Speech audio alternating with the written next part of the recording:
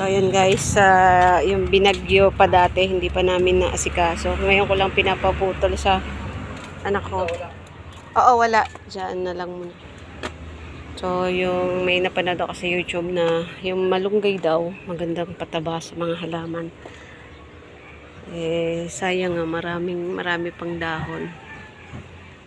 So, puputulin namin para pag sumibol, mababa na ulit. Masyado na rin pati kasing mataas. Ayan. Ito yung mga tanim ko. Ayan, nabagsakan na. Tatanggalin ko, daming damo. Ulan kasi ng ulan, kaya ang bilis lumago ng damo. Aray ko. Alin? Oo. So, ayan guys, ang dami kong uh, mga pasibol ngayon. Yung mga binagyo. Ito, meron akong pasibol na silum. Ito, doon sa Amazonica. Ayan, pinagtatanggal ko kasi nga mga binagyo sila. Ito, ayan, panibagong ano ng aglo. Ayan, pinutol ko. Nagkasira-sira yung dahon nitong aking okra. Guys, ayan mga mga binagyong halaman. So ito tinanggal ko din yung aking ah, talong na naandoon kasi nga nung malakas ang ulan puti nga naagapan ko. Nung malakas ang ulan ibabahain sila doon malulunod. So inagapan ko na ito na oh maganda na yung ano. Yan ah, gagawin kong fertilizer yung malunggay kung ano magiging epekto sa kanila. Ito bagong lipat ko lang din at saka yan. Ayun gumiba na. Eto pa. So kaya mag ano tayo ng malunggay kasi sabi nung napanood ko sa YouTube din maganda raw na pataba. So ito yung ating mga pasibol. Ito yung binlag ko na black velvet. Ayan mal, nilipat ko na rin kasi nando sa ulanan eh. Hindi sila pwede ng maraming tubig. So ayan guys. Ito ang ating mga yan paglalagyan ng mga pataba. Tataray ko yung tataray ko yung malunggay. Okay so paano? Goodbye for now guys. See you on next day. Lalim.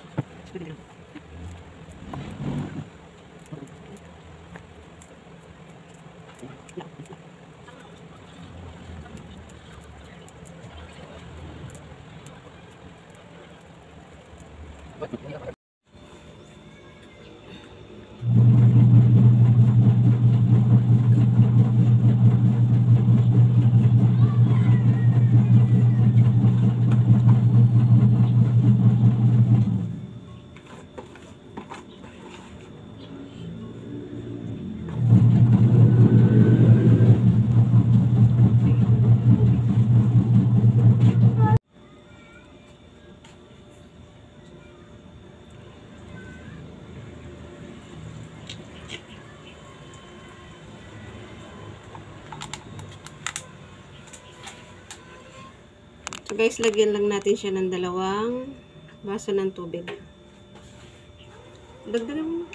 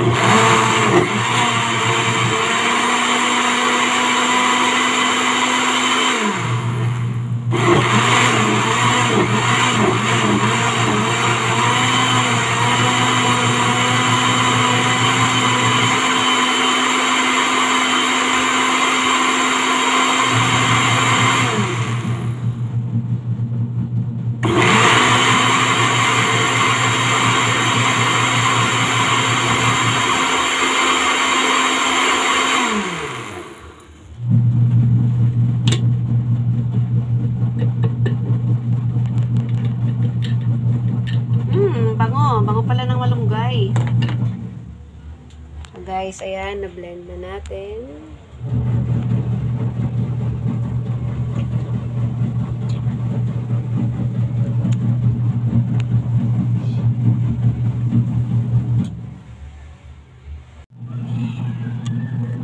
Lagyan po natin ng walo, ah, lima hanggang walo na kutsara. One, two,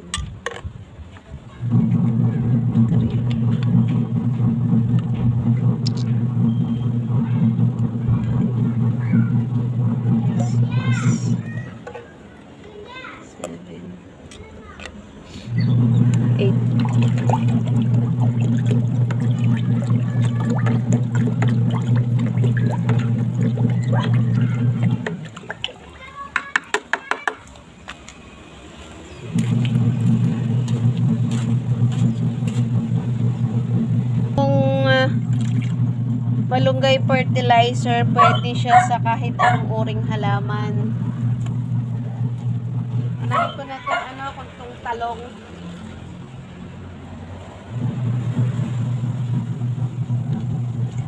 Aglo.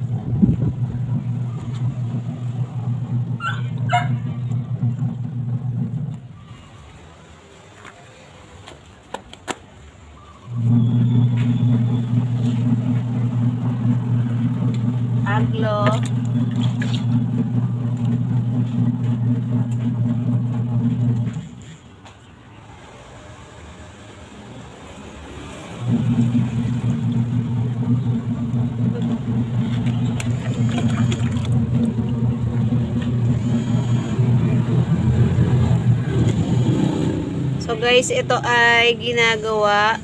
ah, pwede siya two times a week.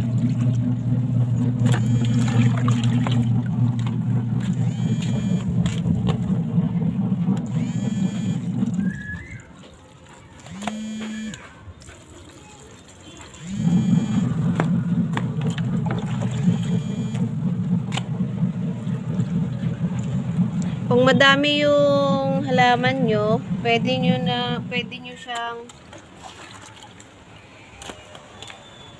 pwede ulit kayong magtimpla.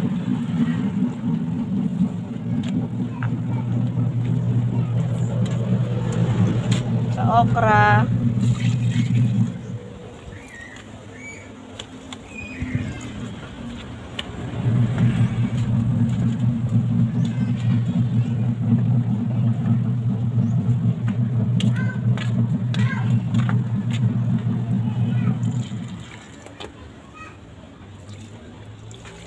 Black velvet. Yan ang mga black velvet na binagyo.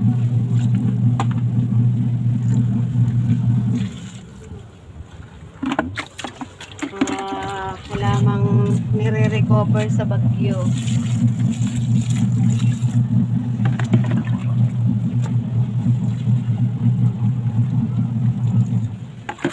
Aking silong.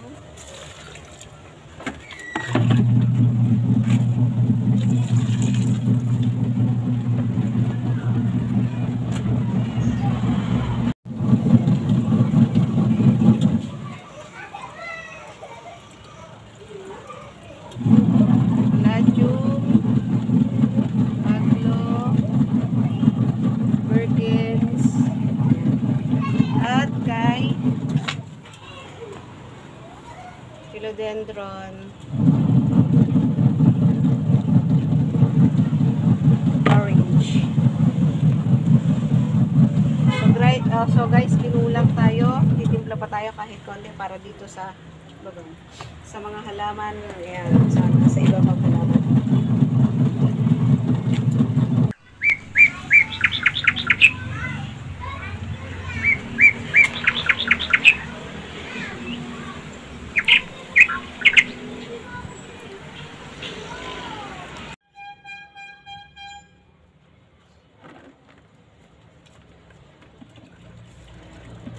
So guys, kinulang tayo sa ano sa sa tinimpla ko. So gumawa ulit ako ng bago.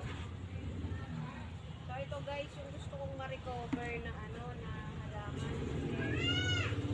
Kasi, yung kahapon, eto na lang natira oh, binagyo. Dito meron ako sinusok, hindi ko lang makuha. So,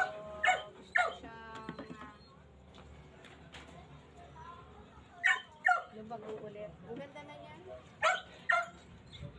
yun, ah, abangan po natin kung kasi malunggay. Kasi marami na nagsasabi na effect. So, thank you for watching.